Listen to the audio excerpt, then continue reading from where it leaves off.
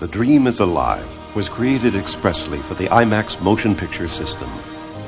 The Los Angeles Times called the film breathtaking, the coming of age of the ultra large screen format. Giant or dome shaped IMAX screens occupy most of the audience's field of view.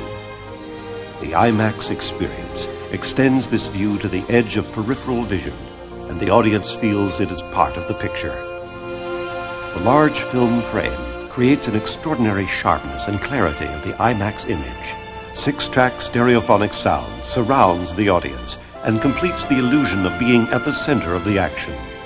Theaters designed specifically for the IMAX motion picture system give everyone an unobstructed view of the screen.